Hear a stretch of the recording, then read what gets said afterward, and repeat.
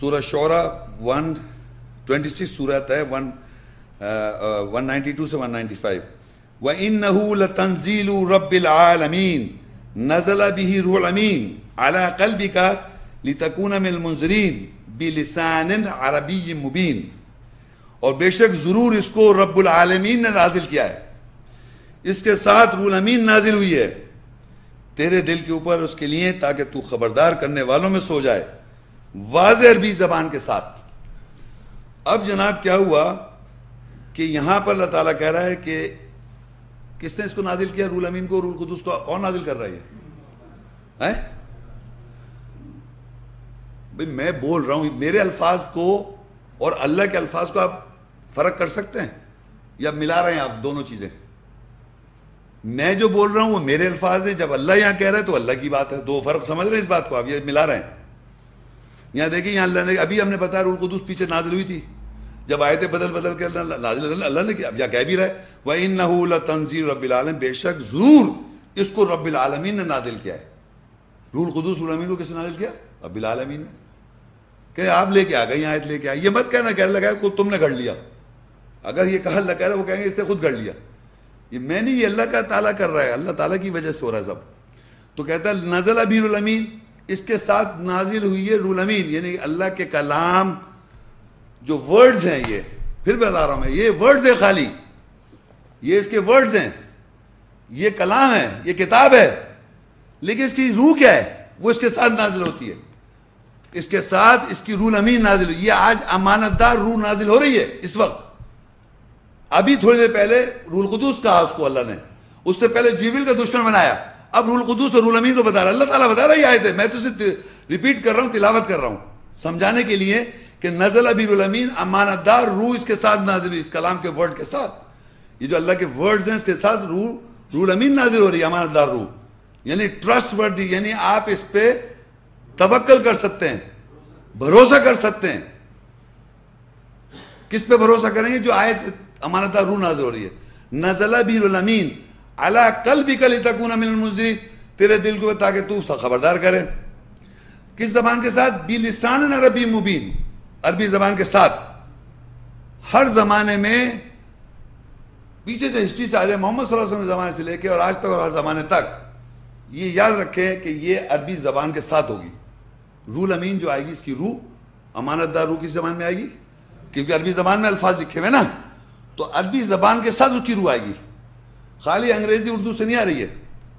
लेकिन अरबी जबान के साथ ताकि वेरीफाई आप कर रहे हैं, लेकिन ट्रांसफ़र उर्दू जबान में हो रही है इस वक्त। इसको आप डिनाई नहीं कर सकते। आप सुन रहे उर्दू में ही।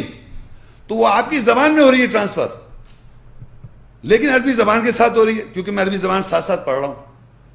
और आप वेरीफाई भी कर रहे हैं। और जिसको अरबी आती है, वो ज़्यादा अच्छी तरह समझ सकता है। जिसको अरबी नहीं आती है तो वो तर्जुमे पे गौर करे, थोड़ा बहुत मिलता हुआ नज़र आ जाएगा उसको। उर्दू में ये एडवांटेज है कि बहुत से अल्फाज उर्दू के अरबी के सिमिलर मिल जाते हैं। तो अरबी जबान के साथ आ रही है रूह। तो ये पीछे प्रोसेस चला है तो उसके प्रोसेस को याद रखें किस तरह अल्लाह ताला अपनी रूह को नाजिल जब करता है तो अल्लाह कहता है, वलकद नालमु अन्नहुम यकूलूना इन नमा युअल्लिमुहु बशर। लिसानुल्लदी युलहिदूना इलही आजमिन वहादा लिसान अरबी मुबीन। और तहकीक हम जानते हैं कि बेशक वो कहते हैं कि इसे एक बशर तालीम देता है। ये जो रूह आई है, इसको बशर ने तालीम दी है। जिसकी जानब बेहरमती करते हैं, अजमी ज़बान कहकर, ये वाज अरबी ज़बान है। अब ये बड़ा इंपॉर्टेंट समझना है, इसको क्या मकसद क्या है? मिसाल के तौर पे आप आए, मैं तर्जुमा कर रहा हूँ, तर्जुमे में एक बात बता रहा हूँ, आपको अरबी और तर्जुमा, ऐसे ही कर रहा हूँ ना?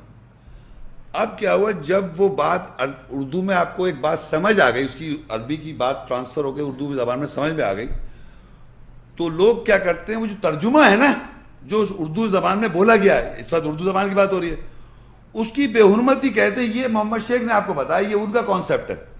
बाकायदा पॉइंट करेंगे आपको ये बात। चैलेंज से कह रहा हूँ मैं। वो इस इसकी अल्लाह कह रहा है बेहरमती कर रहे हैं, क्योंकि वो कहता है, वहादा लिसान अरबी मुबीन, यही अरबी जबान है।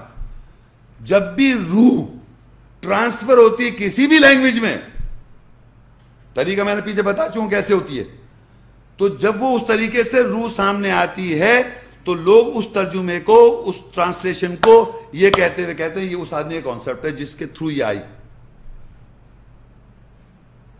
तो अल्लाह उसी उसी स्प्रिट को कहता है, ये अरबी मुबीन है।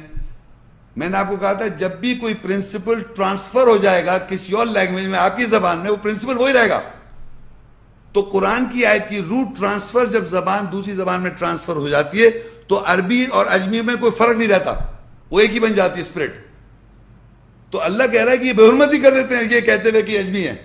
तो अल्लाह कहता है, वही अरबी मुबीन है। कितने लोगों को समझ में नहीं आया? किसी की समझ में नहीं आया? बताएँ जल्दी बताएँ। भाई प्लीज़ आपके समझ में आए मैंने आपसे जुमला यानी जो जो आयात की वाजात हुई जबान उर्दू जबान में सुन रहे हैं ना आप वो जो आयत का मैं ट्रांसलेशन करते जा रहा हूँ साथ साथ में वो जो स्प्रिट आ रही है उसकी कहते हैं ये तो ये तो ये तो इस, ये, ये इसका इसका इसका इसकी समझ है ये। यानी अल्लाह शायद कुछ और बात कह रहा है। तो अल्लाह कह रहा नहीं यही अरबी मुबीन है। जब भी अरबी मुबीन का मतलब होता है वाज अरबी। अरबी वाज जब होती है, जब दूसरी जबान में उसकी स्प्रिट ट्रांसफ़र हो जाए। खाली तर्जुमा नहीं कह सकते।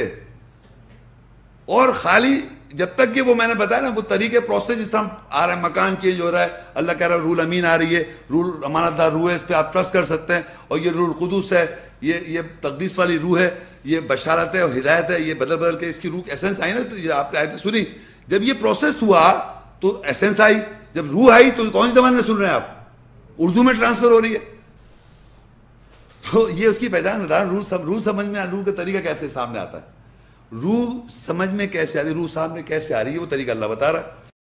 यहाँ देखिए इब्राहिम सूरह 14 में फोर और वाजे हो जाएगी बात। वमा अरसल्ला मिर रसूल इल्ला बिलिसानी कौमिही लियुबय्यिन लहुम। फयुदिल्लु, फयुदिल्लुल्लाहु मन यशा व यहदी मन यशा व हुवल अजीजुल हकीम।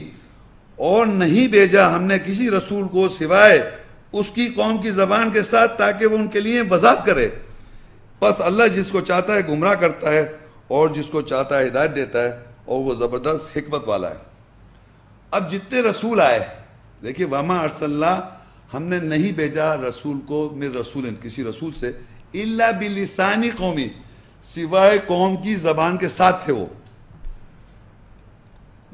और वो आन के क्या करते हैं, ली लीयुबैना लहुम, ताकि उनके लिए वजात कर दे उनकी जबान में, उनकी जबान में। यानी कौम की जबान के अंदर जो मैं तीदे समझा रहा था, अरबी में तो अल्लाह ने कुरान महफूज किया हुआ है। अरबी का कुरान, अल्लाह का कलाम। कौम की जबान में वजात कैसे होगी? मुख्तलिफ़ कौम मुख्तलिफ़ जबान है। कैसे वजात होगी, बताएँ आप? तो रसूल आन के कौम की जबान में वजात कर रहा है। ये देखिए प्रिंसिपल लॉ बनाया अल्लाह ने। वमा अरसल्ला मिन रसूल हमने नहीं भेजा किसी रसूल को। इल्ला बिलिसानी कौमी, सिवाय वो कौम की जबान के साथ था। ताकि लीयुबैना लहू, ताकि वजात कर दे उन लोगों के लिए, उस कौम की जबान के अंदर। ये, यही मैं आपको समझाता आ रहा हूँ कि सुन्नत रसूल में हर जगह, हर जमाने में यही होगा कि कौम की जबान में आप वजात करेंगे तो रूट ट्रांसफ़र हो जाएगी। तभी तो नॉन अरेबिक स्पीकिंग पीपल ईमान लाएँगे। वरना तो ये महदूद ज़्यादा सिर्फ़ अरबियों के लिए। पूरी दुनिया मैंने बताया मेजोरिटी तो नॉन अरब मुस्लिम जो पूरी वर्ल्ड में जो है वो अरब से ज़्यादा मुसलमान नॉन अरब हैं। उसका अरबी लैंग्वेज से कोई मसला नहीं है। तमाम दुनिया में ट्रांसलेशन मौजूद है। आप कौन जबान में पढ़ रहे हैं? उर्दू में। और कहते हैं, अल्लाह कह रहा है। आप बताए कितने आदमी हैं यहाँ पर जो अरबी नहीं जानते और आयत पढ़ते हैं ट्रांसलेशन में? और ट्रांसलेशन की तरफ़ इशारा करते हैं कहते हैं, अल्लाह कह रहा है। कहते नहीं कहते आप? क्या अरबी को कहते हैं आप? अरबी पढ़ते हैं, उसका तर्जुमा करते हैं। और फिर तर्जुमा कहते हैं, अल्लाह कह रहा है। तो ये आपको एश्योरेंस कैसी अल्लाह कह रहा है? वो ट्रांसफ़र अगर रूह हो गई तो इसी बेस पे तो कह रहे हैं आप। तो वही यहाँ लिखा हुआ है कि रसूल आन के कौम की ज़बान में वजात करता था। और उसका रूल यही है कि हर जमा कौम की ज़बान में वजात की उसने। ताकि वो, और अल्लाह जिसे चाहता है गुमराह कर देता है, अल्लाह जानता है किसे हिदायत देता है, और अल्लाह ताला ताकत वाला हिकमत वाला है। तो इसी इससे ऊपर वाली आयत में अल्लाह कह रहा हमने तेरी ज़बान में आसान कर दिया। जब आसान कर दिया तो क्या करें? मुत्तकियों को बशारत दे दे और खबरदार कर दे जो झगड़ालू कौम है। और हर रसूल जो है, वो आ रहा है, वो आगे कौम की जबान के अंदर वजात कर रहा है। तो ये सिलसिला जारी है। हर जमाने में ये हुआ कि जो भी आदमी है, अल्लाह की उसकी अगर वजात हो गई, उसको अगर अल्लाह ने वजात कर दी तो वो दूसरों को उसकी कौम की जबान में वजात करेगा। और ज़रूरी नहीं अरबी अरबी आदमी हो। पूरी दुनिया में है तो सारी दुनिया में चाइना में जाके देखे वहाँ तो सारे मुसलमान नहीं क्या? चले, आप हज़ारों लाखों में कुछ तो ईमान वाले होंगे, ये बिल्कुल ही ज़ीरो कर दिया आपने।